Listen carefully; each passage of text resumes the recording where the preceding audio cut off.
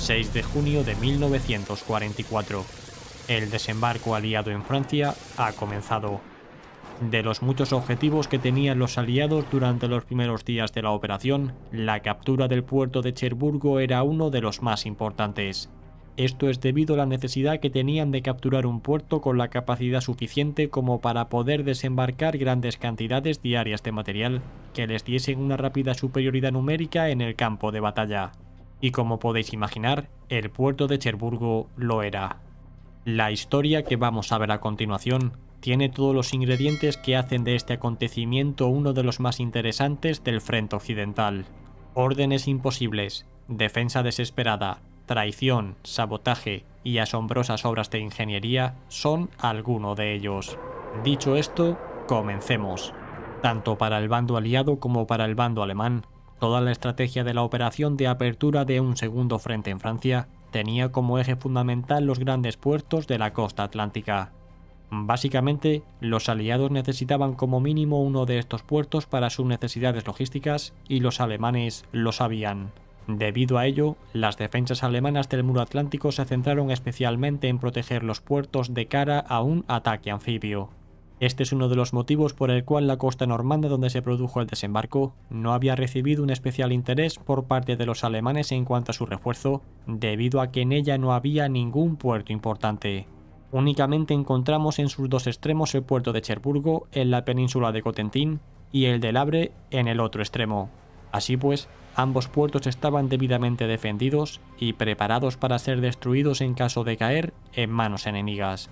Los aliados sabían que atacar frontalmente uno de estos puertos o ir directamente al del paso de Calais era una operación muy complicada en la que podían ser derrotados.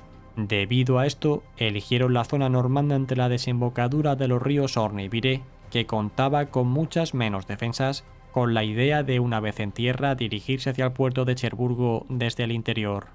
En un primer momento, la zona de desembarco se había fijado únicamente en tres playas, siendo estas las de Omaha, Gold y Juno.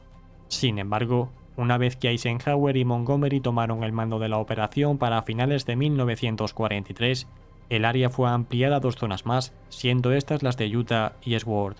La nueva zona en Utah se estableció en la península de Cotentin y era la clave para comenzar a desembarcar tropas allí, que rápidamente conectarían con los paracaidistas que también iban a ser lanzados en las inmediaciones del sector. La misión de las dos divisiones paracaidistas estadounidenses que iban a ser lanzadas al sur de la península de Cotentin era cortar y bloquear las principales vías de comunicación terrestres para aislar todo el sector. Posteriormente, cuando llegasen las tropas que iban a desembarcar en la playa, se dirigirían hasta el oeste para llegar nuevamente hasta la costa atlántica y con ello cortarían completamente la península. Una vez que esto tuviese lugar, las tropas alemanas quedarían sitiadas en la península de Cotentin y solo sería cuestión de tiempo que terminasen sucumbiendo. Si bien la ejecución de toda esta operación, con la conquista final de Cherburgo, estaba planificada para llevarse a cabo en apenas unos días, tal y como vamos a ver a continuación, la batalla por la ciudad se prolongó durante tres semanas.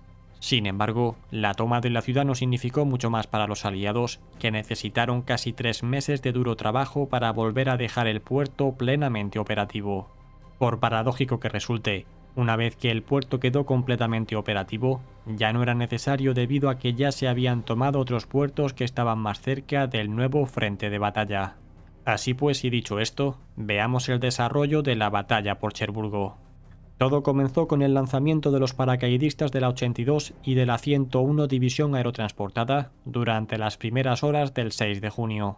A continuación, estas tropas fueron haciéndose con el control de los principales ejes de comunicación, entre el que destaca el de San Mereglis. Posteriormente, a las seis y media de la mañana, la cuarta división de infantería estadounidense comenzó a desembarcar en la playa, a unos pocos kilómetros al norte de la desembocadura del río Vire. A las pocas horas del desembarco, las unidades de la cuarta división pudieron establecer contacto con los paracaidistas y poco a poco fueron haciendo más grande la cabeza de playa. Por otro lado, un poco más al sur, se estaba produciendo la feroz batalla por la ciudad de Carentán, que era vital para conectar la cabeza de playa de Utah y Omaha. Fue en esta ciudad donde se produjo una fuerte resistencia por parte del sexto regimiento paracaidista alemán, que era una de las pocas tropas de élite que tenían los germanos en la zona. Esta unidad pudo retener la ciudad hasta el día 13 de junio, siendo este el día en el que ya no pudieron continuar resistiendo. Una vez que cayó esta ciudad, los estadounidenses pudieron conectar sus cabezas de playa y comenzaron a llegar más refuerzos a la península de Cotentín.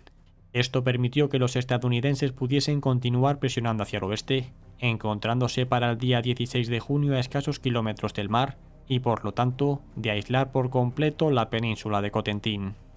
Fue precisamente un día más tarde cuando tuvo lugar una reunión entre Hitler, Rommel y Ransted a muy pocos kilómetros de París, en donde se analizó la situación. Uno de los primeros puntos que se trataron fue precisamente lo que estaba ocurriendo en la península de Cotentín, debido al inminente peligro de perder el tan valioso puerto. Así pues, el líder alemán criticó la falta de motivación de sus comandantes para realizar las ofensivas o bien a la hora de defender posiciones hasta el último hombre. A continuación, Hitler indicó que una de las tareas más importantes que tenían por delante era la de mantener la ciudad de Cherburgo a toda costa, siendo su pérdida totalmente inaceptable. Rommel propuso que lo mejor que podían hacer era que todas las tropas que había en el sector se retirasen a Cherburgo e intentasen resistir allí. Sin embargo, Hitler se empeñó en que había que establecer las líneas defensivas fuera de la ciudad y que había que luchar por cada palmo de terreno. De forma aproximada, en la península de Cotentín había unos 21.000 soldados alemanes que se quedaron completamente aislados para el día 18, una vez que los estadounidenses terminaron de llegar al extremo occidental de Cotentín. Estas tropas eran los restos de varias divisiones alemanas que habían estado combatiendo contra los estadounidenses desde el día 6 de junio. Además, de entre todos ellos, aproximadamente una quinta parte eran soldados que procedían de los países del este. Así pues, eran soldados mermados con poca motivación y moral, escaso material y una nula movilidad. Su comandante era el teniente general Wilhelm von Slieven, que apenas un mes antes había sido nombrado comandante de la defensa de Cherburgo, tras prometerle al líder alemán que resistiría en la ciudad hasta el último hombre.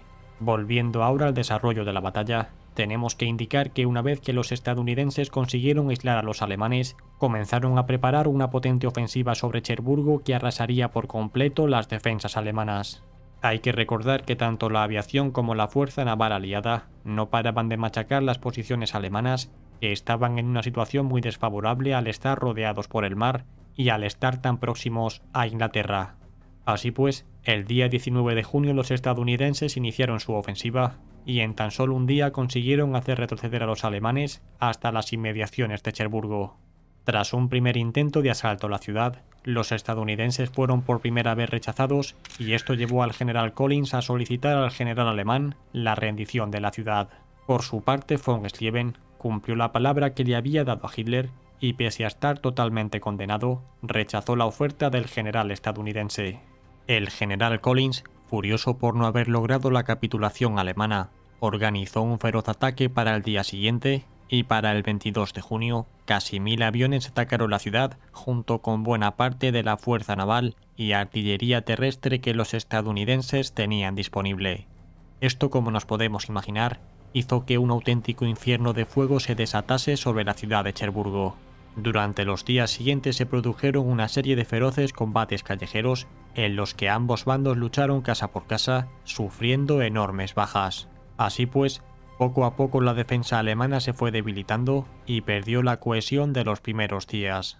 Debido al peligro que había de que la ciudad pudiese caer de un momento a otro, el día 25 los alemanes volaron por completo el puerto de Cherburgo, dejándolo totalmente destruido. Para el día siguiente, siendo este el 26 de junio, el teniente general von Slieven se rindió a los estadounidenses que ya estaban cerca de su cuartel, junto con 800 soldados que estaban en su búnker de mando. Del mismo modo que pasó en Stalingrado, la resistencia alemana continuó de forma aislada en algunos sectores de la ciudad, hasta que poco a poco fueron siendo reducidos. El último de ellos en sucumbir lo hizo para el día 29 de junio, quedando de esta forma toda la ciudad bajo control aliado. A partir de este punto y tal y como hemos dicho anteriormente, comenzaron unos trabajos sin descanso para volver a dejar el puerto operativo, que no terminaron hasta el mes de septiembre. Además, y por si fuera poco, iba a ser por allí por donde iba a entrar el oleoducto de la Operación Pluto, que hace unos meses analizamos en el canal. Con respecto a las bajas, se estima que los estadounidenses tuvieron casi 17.000 bajas, siendo de ellas 3.000 muertos y 3.100 desaparecidos. Por su parte, los alemanes tuvieron 11.000 bajas, siendo capturados los 10.000 soldados restantes. Si bien el teniente general Slieven fue acusado de traición por rendirse, lo cierto es que no hubiese podido hacer más. En cualquier caso, los alemanes hicieron un muy buen trabajo con la demolición del puerto, dejándolo fuera de servicio mucho más tiempo de lo esperado.